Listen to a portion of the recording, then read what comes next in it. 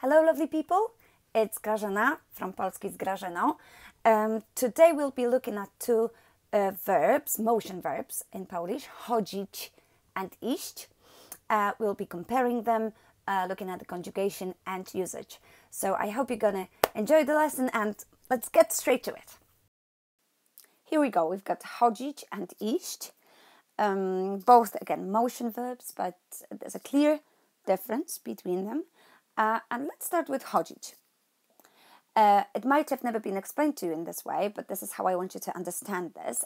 And that chodzić has got frequency, uh, used to go, the meaning of used to go somewhere in the past, and the meaning of usually built in it. Okay, let me explain what I mean by it. So let's start with frequency.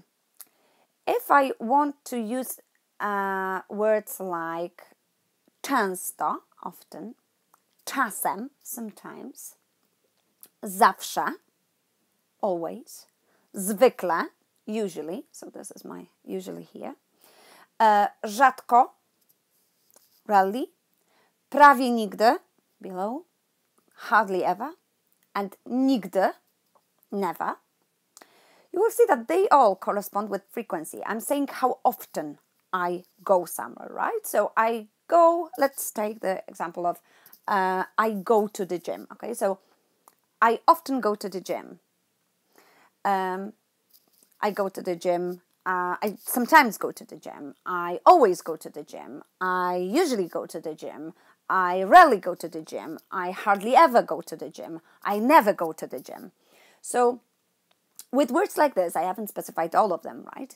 Uh, so codziennie, every day is not here, but would also make sense. So if I want to say how often I go, uh, this would be my verb to choose. Okay, so this is what I mean by frequency, and it doesn't mean that I um, that I would use it only when I go somewhere frequently. No, uh, I I'll use it when I want to say how often I go. Okay, so that's the first mm, uh, first thing built in the meaning of that verb. So let's take some examples. Uh, we'll analyze it in more detail later on, but just a few examples. Let's say I rarely go to the gym. Okay, I'll use rzadko. Rzadko chodzę na siłownię. I rarely go to the gym, right? How I can actually check um, uh, if I'm using the right verb is to apply the question how often do I go, right? So jak często chodzę na siłownię? How often? Jak często? Rarely. Rzadko. So if I actually can give myself an answer of how often someone goes somewhere, uh, that would mean that I'm choosing the right verb chodzić. If the answer wouldn't make sense, then it's not clear if I'm actually making the right choice, uh, which you will see when I'm going to show you some examples. So, frequency. When, i when I say how often uh, someone goes somewhere, I use the verb chodzić. Let's look at the meaning of used to go. So this uh, this is a situation when I would use this verb in the past tense, right? Because I'm referring to the past. I'm saying that I did something. I went somewhere specifically in the past, and I did it more than once. So I could, for instance, build a sentence like, um, "I used to go to the gym five years ago." Pięć lat temu chodziłam na siłownię. Um, I could say, chodziłam do szkoły, kiedy byłam mała. I used to go to school when I was little. And so on and so forth. So you would use chodzić uh, if you wanted to say that you used to go somewhere, but you don't do it anymore. And the last one, usually, uh, if you go somewhere, usually, right? So this is the zwykle word. Um, you would use the verb chodzić. Sometimes we don't even have to say zwykle. That's why I um, mm, I, uh, I wanted to explain it to you. We could say um, chodzę na zakupy w piątki. I go uh, shopping on Fridays. I don't have to use the word usually because I'm using chodzić. That kind of suggests that I do it usually, doesn't it? Uh, I usually go shopping on Friday. Uh, right, so I hope that this helps a little. Let's look at the verb iść. Iść is totally different. You can see straight away that uh, it's got different things built in it again, if you like. Uh, the meaning of now, the meaning of soon, in a minute, soon, and the one off meaning of one off action. So let me explain. Uh, if you are going to the gym now, this is the verb to use. So I would use this verb if I wanted to say to say I'm going to the gym. Are you going with me? So not necessarily I go to the gym often, every day, rarely, but I'm going now, right? So idę na siłownię. Idę na siłownię, right? I'm going to the gym now. Idę teraz na siłownię. To make it stronger, I could use the word teraz. Idę teraz na siłownię. Right? If I chose the word zaraz in a second, right? Soon, very, very soon. Uh, the sentence would also make sense. So, zaraz idę na siłownię. I'm going to the gym in a minute. In a moment, uh, in a while, idę na siłownię za chwilę. I'm going to the gym soon. Tak? Idziesz? Are you going? Um, so now or soon, right? Um, these are just a few examples of words that you could use. Uh, but I wanted to show you that uh, they differ from the words that you've got here, right? Uh, and one off, so if I'm going to the gym on Friday just to check it out, I'm not sure if it's a place for me, if I want to join, just to check it out, this is also the verb I would use. So idę na siłownię w piątek, bo chcę się zapisać. I'm going to the gym on Friday because I want to join. Right? So not necessarily going there every every Friday, but just this Friday as one off. So I hope this explains um, the the showing you the meanings that are kind of in the in the um, in inside the verb, if you like, uh, helps us uh, making the right choice. So let us look at sentences that we can build and see if that actually uh, all makes sense to you. Here we go, conjugation of chodzić and iść. Uh, in present in present tense, um, I will be doing a past tense conjugation, so please bear with me. I'll do that in separate video. Um, for those of you who are a little bit more advanced, um, I'm going to say that these both are imperfective verbs, um, and this one is the indeterminate form uh, of the imperfective verb uh, to go, and this one is determinate form of the imperfective verb to go. I will again, I will be doing um, a separate video on past tense of those double imperfective verbs um, soon. So, um, conjugation in present tense. Let's start with chodzić. First of all, I would like you to notice that DZI in Polish, it's not the Z, but G. I hear that very often um, uh, uh, when uh, I've got a lesson with students pronouncing DZI as Z, right? It's very soft, the G, right? G, right? Um, chodzę, I go. Chodzę. Chodzisz, you go. On, ona, ona, so he, she, it. Chodzi. Chodzimy, we go. Chodzicie. Chodzicie. Chodzą. There you go. So once again, I'm going to point and ask you to pronounce it, and then uh, I'm going to pronounce it after you. Let's start with the first one. Chodzę. Chodzisz. Chodzi. Chodzimy. Chodzicie, chodzą. Ok? Iść, idę, idziesz. So you see again, not idziesz, right? DZI. Idziesz, very soft. Idzie, idziemy, idziecie, idą. So again, it could mean I go as one of, or I'm going somewhere now. Um, I'm going, you're going, he, she, it is going, we're going, you going, they're going. So once more, this time with you. Idę. Try this one on your own. Idziesz. Idzie.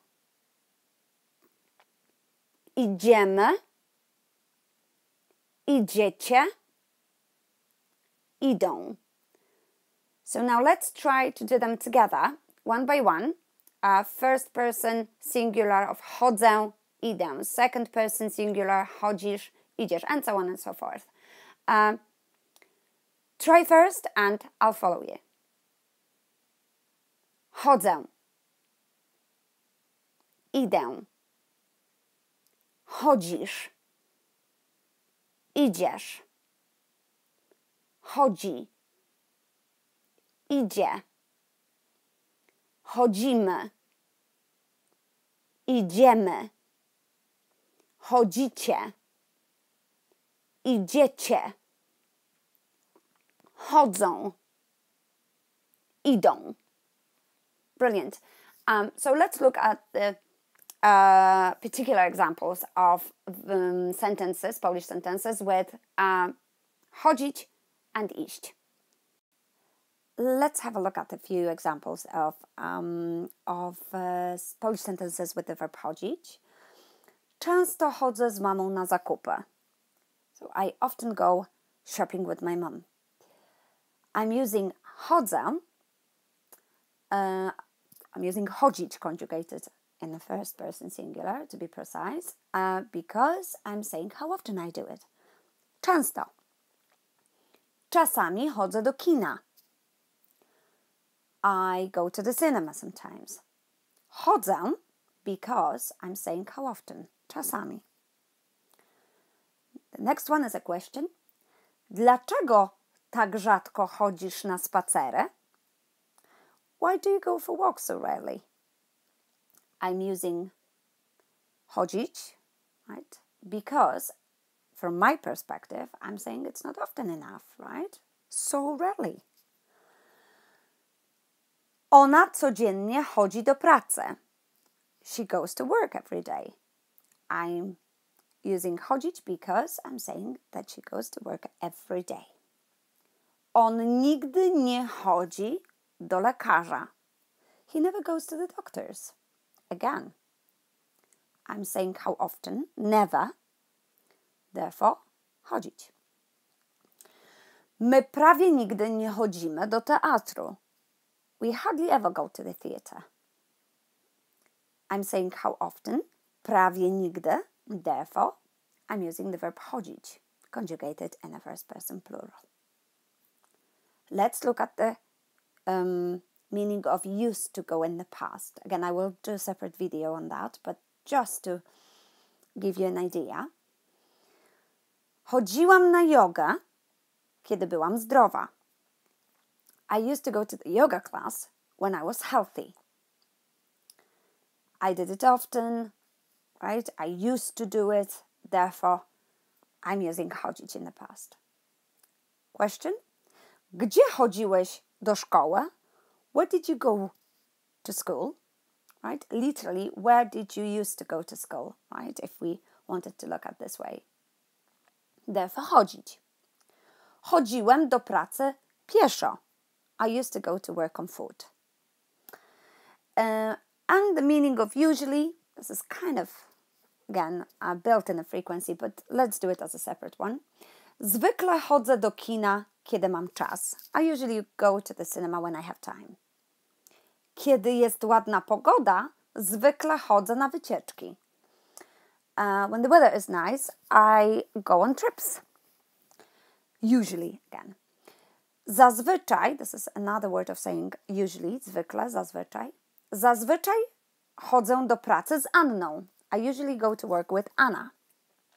In all those examples, sorry, in all those examples, I could actually erase the word zwykle here and the meaning of usually would be still there simply because of the verb chodzę. Chodzę do kina, kiedy mam czas. I usually go to the gym, to uh, the cinema when I have time. Kiedy jest ładna pogoda, chodzę na wycieczki. Again, I don't need to use this word. I can, but I don't have to. Chodzę do pracy z Anną. I usually go to work with Anna. Let's look at some examples with the verb iść. Idę do sklepu. Wrócę za godzinę. I'm going to the shop. I'll be back in an hour. That obviously means that I'm going now. I have to use the verb iść, right? Idziesz dzisiaj do Filipa? Are you going to see Philip today? Again, idziesz, because I'm asking about today as one off, right? Oni zaraz idą do domu. They're going home in a minute. I'm using zaraz, I'm saying in a minute, therefore idą. Gdzie idziesz? Again, where are you going? Gdzie idziesz? Because you're going somewhere now and I don't know where, I'm asking the verb idziesz. Ona nie idzie jutro do pracy, bo jest chora. She's not going to work tomorrow because she's ill. It's about tomorrow, it's about one off. Nie idzie. Idziecie z nami do kina wieczorem? Are you going to the cinema with us in the evening? It's going to be in the evening soon. Idziecie. So let's compare iść and chodzić. I'm going to give you some examples with chodzić based on the sentences uh, we've just done to show you the difference. So compare. Idę do sklepu, wrócę za godzinę. I'm going to the shop, I'll be back in an hour. Zawsze chodzę do tego sklepu. I always go to this shop. Idziesz dzisiaj do Filipa? Are you going to see Philip today? Chodzisz do Filipa w czwartki czy piątki? Do you usually go to see Philip on Thursday or Friday? Oni zaraz idą do domu. They're going home in a minute. Oni chodzą do domu pieszo. They go home on foot. Gdzie idziesz? Where are you going? Gdzie chodzisz po pracy? Where do you usually go after work? Ona nie idzie jutro do pracy, bo jest chora. She's not going to work tomorrow because she's sick. Ona chodzi do pracy nawet wtedy, gdy jest chora. She goes to work even if she's ill. Idziecie z nami do kina wieczorem? Are you going with us to the cinema in the evening? Chodzicie do kina Otello czy Phoenix? Do you usually go to Otello or Phoenix? Thank you so much, guys, for watching. Uh, and if you like the video, please make sure that you go to this website and uh, you check it out. You can find some more materials there for learning Polish, uh, some mind maps, um, vocabulary, uh, video lessons, and also podcast, uh, which may help you learning Polish. Right, uh, I'm looking forward to another video for you, and I hope to see you very soon, guys. Dziękuję i do zobaczenia. Pa, pa!